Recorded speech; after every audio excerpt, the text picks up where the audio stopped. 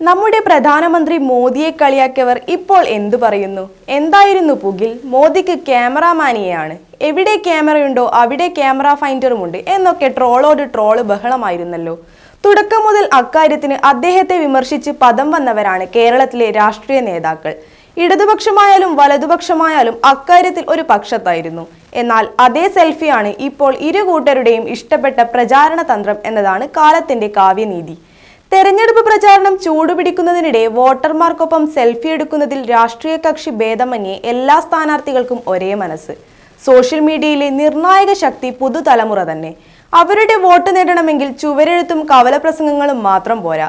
ഫേസ്ബുക്കിലും ട്വിറ്ററിലും ഇൻസ്റ്റഗ്രാമിലുമൊക്കെ സജീവ സാന്നിധ്യമായേ പറ്റൂ. മണിക്കൂറുകൾ ഇടവിട്ട് പുതിയ പുതിയ ഫോട്ടോകൾ പോസ്റ്റ് ചെയ്യണം സ്റ്റാറ്റസ് അപ്ഡേറ്റ് ചെയ്യണം സാമൂഹിക വിഷയങ്ങളിൽ ജനഹിതമറിഞ്ഞ് പ്രതികരിക്കണം. വോട്ട് അഭ്യർത്ഥിച്ച് കാടും മലയും കയറിയിറങ്ങുന്നതിനിടയിലാണ് ഈ പെടാപ്പാടെന്ന് ഓർക്കണം. പക്ഷേ അന്നും ഇന്നും സെൽഫിയോട് നോ പറയാത്തവരും ഉണ്ടായിരുന്നു കേട്ടോ നമ്മുടെ വി എസ് അച്യുതാനന്ദനും സെൽഫിക്ക് മുമ്പിൽ നോ പറഞ്ഞിട്ടില്ല.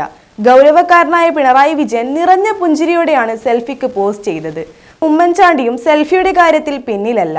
വി ടി ബൽറാം ആണെങ്കിൽ സെൽഫി എടുക്കുന്ന ചിത്രം വെച്ച് പോസ്റ്റർ പോലും പുറത്തിറക്കിയ ഒരു കാലത്ത്. വോട്ട് സെൽഫി വിശേഷങ്ങൾ ഇവിടം കൊണ്ടൊന്നും തീരുന്നതല്ല. ഇനി ഈ കൊല്ലം സെൽഫികളിലെ രാഷ്ട്രീയ മാറ്റങ്ങൾ തിരഞ്ഞെടുപ്പോടെ കണ്ടറിയാം. ബാക്കി കഥകളായിട്ട് മല്ലു സെൽഫി വേൾഡ് ഉടനെത്തും. ജോയിൻ ചെയ്യൂ മല്ലു സെൽഫി വേൾഡ്. ഇത്തരം സോഷ്യൽ മീഡിയ പരസ്യങ്ങൾ ചെയ്യുന്നതിനായി ഫസ്റ്റ് ഡ്രിങ്ക് മീഡിയയുമായി ബന്ധപ്പെടുക. Contact nine four double zero seven five seven one double three.